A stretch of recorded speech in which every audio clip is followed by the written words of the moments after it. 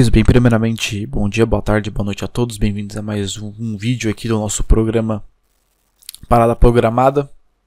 Dessa vez, continuando com as nossas análises do relatório integrado de 2019, a gente vai para um vídeo que pediram para a gente fazer, né? E eu achei pertinente, que é uma análise sobre é, o mapa da rede futuro que foi exposto no relatório integrado de, de 2019. Antes de qualquer coisa, se você está vendo esse vídeo aqui, gosta do tema de transporte sobre trilhos, peço que você se inscreva no canal, deixe sua curtida, se puder compartilhe. Isso ajuda bastante a gente a divulgar aí um conteúdo com qualidade, certo? Então, é, eu vou deixar aí na tela de vocês o mapa da rede futuro, certo? Para vocês darem uma olhada, eu estou com o meu aqui aberto no PDF. E a ideia é da gente analisar linha a linha que pode ter de modificação ou não, certo? É, novas linhas, novas integrações, o que isso pode impactar na rede. Não sei quanto tempo esse vídeo vai durar, mas eu acho que vai ficar um pouquinho longo, porque eu vou linha a linha, certo? Então, pela ordem, a gente vai aqui começando pela linha 1 azul do metrô, certo? Tucuruvi Jabaquara, né? Faz aqui a ligação norte-sul. De novidades aqui na linha azul, a gente pode observar que a gente só vai ter apenas integrações novas, né? A gente destaca aqui a integração na seção São Bento com a linha Celeste, certo? Para uma estação que já é considerada um labirinto, vai ficar até um pouco mais interessante saber como vão colocar São Bento aqui, né? Integrando com a linha 1. Vai ser interessante porque vai ser mais uma opção ali para o pessoal da linha 1 seguir para a zona, zona norte barra noroeste. Uma integração nova em São Joaquim, que muito provavelmente vai ser bem semelhante àquela integração que a gente já viu lá em Santa Cruz, certo? Vai ter que ter todo um cuidado com a plataforma, enfim, vai ser uma coisa bem diferente porque as estações, pelo menos essas daí, elas não foram concebidas para ter integração. Agora elas vão ter que passar por uma por, um, por uma análise profunda para ver como deixar essa integração saudável. Linha 16 Violeta na seção Paraíso. Essa vai ser bem curiosa porque Paraíso por si só já é uma estação um pouco assimétrica, se você parar para ver. Né?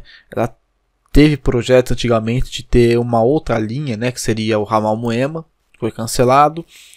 É, a linha 2 acabou aparecendo ali no meio e agora mais uma linha 16 Violeta. A gente não sabe se vai ser subter uma linha mais profunda né, do que a atual. Se for, vai ser curioso ver como vai ser feita essa integração. Mas fica aí a, o destaque da integração da, da 16 Violeta lá na Estação Paraíso. Uh, Santa Cruz a gente tem integração, né?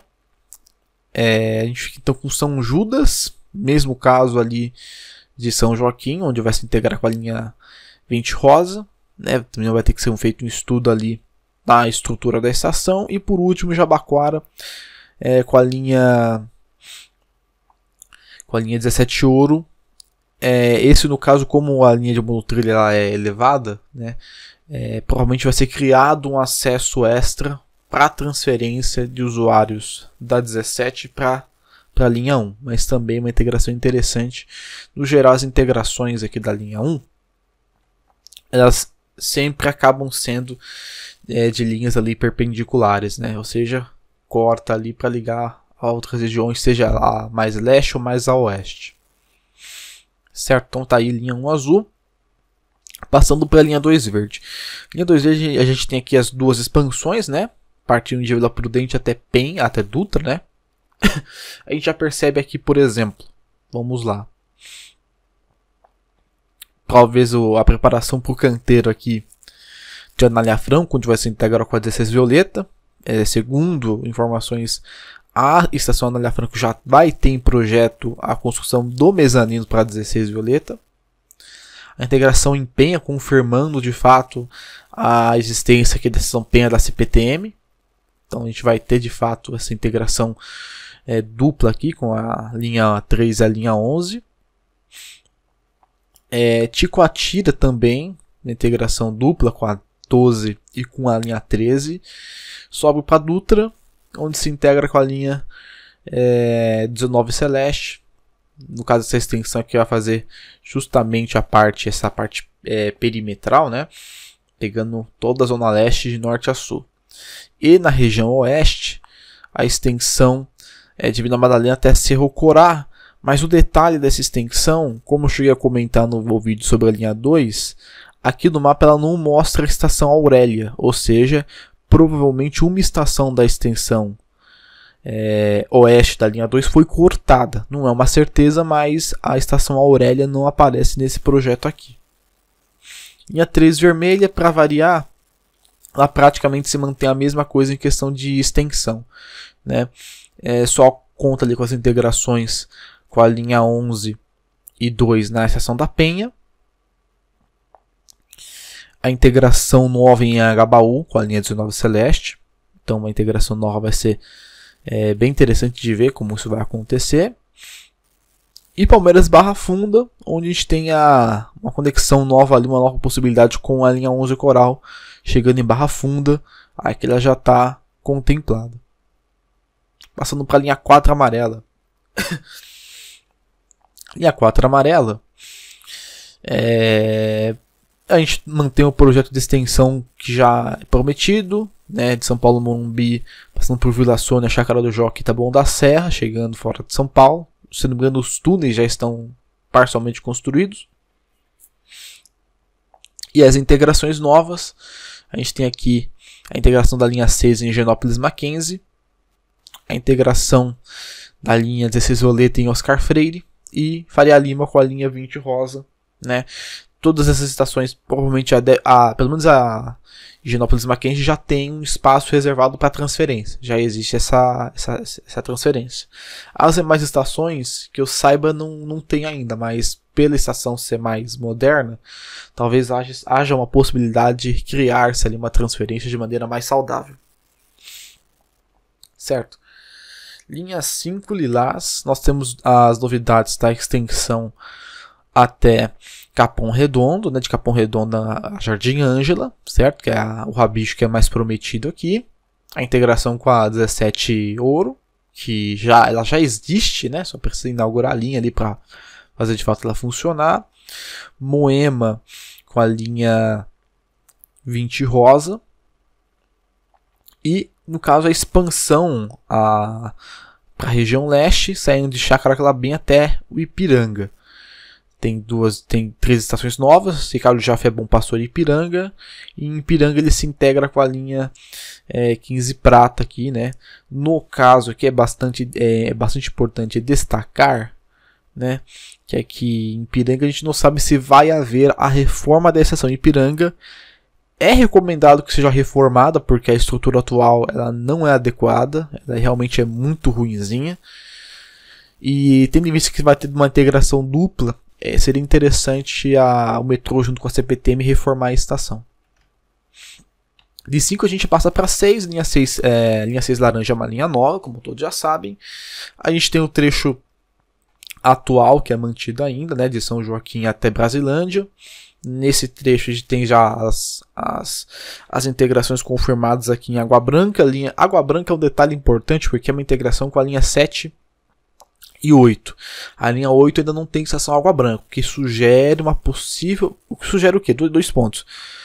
Inicialmente, somente uma, uma integração com a linha 7 a priori, ou, né, assim que for feita a concessão da linha 7, né, provavelmente contemple a construção da nova Água Branca, integrando as duas linhas é um, é um dos pontos mais misteriosos porque atualmente a linha da a linha 8 e a linha 7 nessa região da Água Branca elas passam distantes, então teria que unificar elas e essa unificação vai ser complicado porque existe um terreno ali e tal. É, é complicado, mas fica aí o detalhe de Água Branca. É, Higienópolis Mackenzie, como eu já bem disse, São Joaquim, né, onde vai se integrar com a linha azul já falei também. E, e o Rabicho, né? Passar saindo de Brasilândia até Bandeirantes, passando pelas estações Morro Grande, Velha Campinas, Vila Clarice e Bandeirantes. A integração em Vila Clarice é interessante. É uma estação que é meio vazia, meio distante ali da, da civilização, se posso dizer. Se houver uma reforma de Vila Clarice, seria interessante, né? É uma estação que é, o lado Jundiaí dela é bem seguro, tem muita invasão, né? Muito acesso irregular à via. E, no geral, é, mereceria uma reforma. Se for ter mesmo essa integração, merece uma reforma da, da estação. De linha 6, a gente passa para a linha 7. Na linha 7, a gente não tem muitas novidades aqui, né? Aparentemente, com o traçado tá a mesma coisa. Aqui a gente não tem nada em relação ao TIC. Mas a gente tem, claro, a unificação da estação Lapa. Junto com a integração com a linha 20 rosa aqui, né? A estação Água Branca, provavelmente vai ser reformada. Palmeiras Barra Funda com uma, uma integração a mais. É, a estação aqui é interessante porque é contemplada a estação Paris. E nessa estação Paris, a linha 7 está integrada aqui, né, junto com a 11 e com a 19. Então, uma estação nova entre Luz e Brás. E a parada na estação do Brás, né, que hoje já está consolidada. Aparentemente já está consolidada. A gente não sabe se isso já será afetado é, futuramente. De 7 a gente passa para 8. Da 8 a gente mantém aqui em Júlio Preste, a integração nova em Barra Funda, Água Branca unificada, Lapa unificada. Né? De resto, aparentemente tudo a mesma coisa. Linha 9 é Esmeralda. No trecho norte aqui já está tudo ok, né? Já está tudo consolidado. Tem a integração aqui na seção Morumbi, que já está sendo realizada a montagem. Já está ficando muito bonita. A São João Dias, que vai ser construída, né? Nova estação. E o, a extensão de Garajal até Varginha, né? Também está sendo construída pela CPTM. Previsão de entrega ali para 2022, se eu não me engano. De novo a gente passa para 10. 10, a gente tem aqui algumas coisas interessantes a ressaltar. ressaltar né? É, aqui nesse mapa ela se mantém ainda integrada com a linha, ainda em Brás, não tem ainda expansão até a luz. É, São Carlos, Parque da Moca, né? Então aqui no caso seria uma estação nova, né? Já que a gente tem Juventus Moca, depois a gente iria para Ipiranga. Então tem São Carlos que seria construída e integraria com a linha é, 16 Violeta, né? Segundo relatos, também seria o ponto de partida do Tique até Santos. Ipiranga, que vai ter integração dupla com a linha Lilás a linha 15, também passível de reforma. E Prefeito Saladino, que vai ter integração com a linha 20 Rosa, também seria interessante realizar uma reforma nessa estação. Linha 11 Coral, no trecho leste aqui não tem nada. A gente tem aqui a, a reconstrução de Carlos de Campos, agora como nomeada como Penha. A estação Paris, certo? e a extensão até Palmeiras Barra Funda, que já consta nesse plano aqui, ou seja, realmente tem um foco ali na construção da, dessa extensão da linha 11. Linha 12 Celeste, 12 Celeste não, né, 12 Safira. O trecho original se mantém a mesma coisa, o que tem aqui a mais, a gente tem aqui no caso a estação Ticoatira, certo? com integração com a linha 2 e a 13, e Cangaíba, que seria uma estação nova que também se integra com a 12 e a 13. Né? É interessante ver que vai ter essa estação nova aí, né? Os planos de extensão da Jade, é, até já entrando nela agora, né? É, acabam também indo ali para a região de Bom Sucesso, né? Jardim dos Eucaliptos, São João, Jardim Presidente Dutra e Bom Sucesso. O trecho sul até é, Ticoatira fixo. A gente não sabe ainda como vai se dar ali a questão da chegada da linha 13 ao Brás. Isso depende muito da, da implantação da nova sinalização da linha 12, com a redução de intervalo para até 3 minutos. Assim você consegue mesclar um trem da 12 com um trem da 13.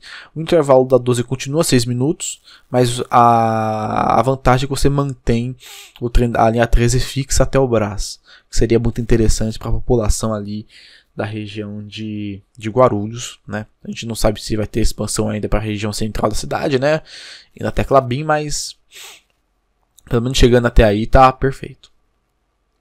De 13 a gente passaria para 14, como a 14 ainda não existe, não está nos planos do governo, a gente passa para 15, 15 prata. a expansão até Jardim Colonial contemplada, mas as, a, o restante da expansão até cidade de Tiradentes, que também vai se dar por duas etapas. Primeira etapa, Boa Esperança e Jacopêssego. Até Jacopêssego eles podem construir. Depois de Jacopêssego eles já não podem porque exigiria o alargamento das avenidas da região. Né? Então cidade de Tiradentes por enquanto fica um pouco mais para depois, né? fica mais para mais tarde.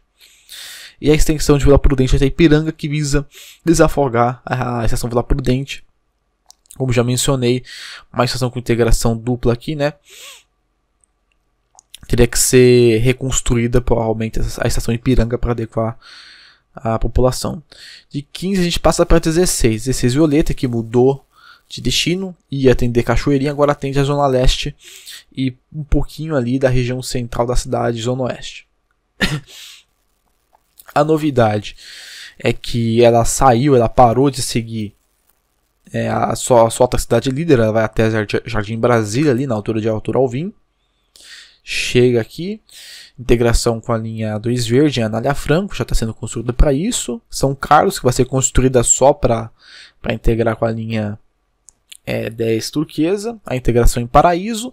Passa por uma região central aqui, né, Jardim Paulista, 9 de julho, Augusta, e se integra com a estação é, Oscar Freire. Também é bem interessante essa parte mais central da linha violeta é, ela passa por uma região bastante requisitada ali, né? De 16 a gente vai para 17 ouro. É, de 17 ouro a gente tem aqui o trajeto original de Morumbi até Jardim Aeroporto, mas aqui a gente tem a extensãozinha também até o Jabaquara contemplada, né? O trecho até São Paulo Morumbi, que seria a fase 2, que passaria por Paraisópolis, não está no mapa. Segundo informações, o metrô não trata mais essa extensão como prioritária. Né? Até porque eu acho que nem tratar Jabaquara como prioritário deveria ser feito, já que a gente nem terminou ainda o trecho atual. 17 a gente passaria para 18, mas a 18 vai virar BRT, que por sinal, isso que é engraçado, é, nem consta aqui no mapa como corredor de ônibus, né? O BRT não consta no, no mapa. Então você vê que o governo ele tá bem. Se o pessoal da ABCA realmente achava que o governo se preocupava com eles, Veja pelo próprio mapa aqui que não tem nada sobre o BRT do ABC, né? Você vê como é que os caras estão realmente preocupados com essa região, né? Deu uma das piores cagadas que a secretaria ali fez nos últimos anos. De 18 a gente vai para 19, famosa linha de Guarulhos, saindo de Bosque Mais, a gente tem integração com Dutra aqui na linha 2, desce cortando toda a parte noroeste de São Paulo, a integração em Paris, que vai ser bem interessante, né? finalmente o motivo para a criação dessa estação, São Bento em Agabaú. Então você vê que é, chegando aqui a partir de Paris vai ser uma integração atrás da outra, né? É, então a gente teria aqui Paris, São Bento e Agabaú. Provavelmente teria integração também vai com Bela Vista, é, Brigadeiro já é confirmado que teria integração, provavelmente uma integração com a 16 Violeta, é, a integração com a linha com a linha 20 Rose, terminando com a integração com a linha 17.5, ou seja, vai ser uma linha cortada de integrações, vai ser praticamente, se tiver a segunda etapa da linha 19, vai ser praticamente uma segunda linha amarela, ou seja, é, se for construída por método de PPP, é, vai ser um prato cheíssimo para o pessoal que é, for pegar a linha, porque ela vai cortar várias linhas aqui, sério, é uma, uma integração atrás da outra. A linha, a linha 4 aqui, por exemplo, ela praticamente só fala de Coutinho aqui que não vai ter integração, coitada, né? Porque todas as outras vão ter integração. De 19 a gente passa para 20, né? De Lapa até Prefeito Saladino, integração com a Lapa aqui, que é nova, Cerro Corá, linha 2, Faria Lima, linha 4, Moema, linha 5, São Judas, linha 1 azul, primeira etapa é a parte oeste, a parte leste da linha, segue tudo aqui, a Funcina, que teria integração com o BRT, né, mas não está citado aqui, e Prefeito Saladino, integração com a linha 10, onde a gente teria talvez a reconstrução da estação. A linha 21, Bordeaux, ela não aparece no mapa, se eu não me engano, ela sairia de Rebouças, Breca Rebouças, é, não sei se ela passaria por Butantã, mas aí ela seguiria até Cotia. Aqui não está contemplada. 22 também não tem, 23 não tem, enfim. acho que a gente pegou todas as linhas aqui que foram necessárias, né? A gente fez aqui a nossa análise do mapa, espero que vocês tenham gostado aí, para vocês verem, né? A, a, a intenção do governo realmente de criar mais integrações, né? Ampliar essa rede aí e ajudar, né? Mais as regiões. Eu acho que nesse caso aqui, é, as linhas que vão ter de fato, as que estão saindo agora, né? 17, linha 2, né? Vão sair de fato, mas a, a prioridade do metrô agora é realmente dar uma ênfase maior para a Zona Norte, com a linha 6 e com a linha é, 19. E, claro, criar extensões é, das linhas atuais a fim de ter, uh, criar uma saúde melhor do sistema, evitar superlotação, né? Mas é isso aí. Essa foi a nossa análise. Espero que vocês tenham gostado do vídeo. Se gostaram, não se esqueçam. Deixe o seu like. Se inscreva no canal para acompanhar os próximos vídeos. Eu vou ficando por aqui. E até o nosso próximo Parada Programada.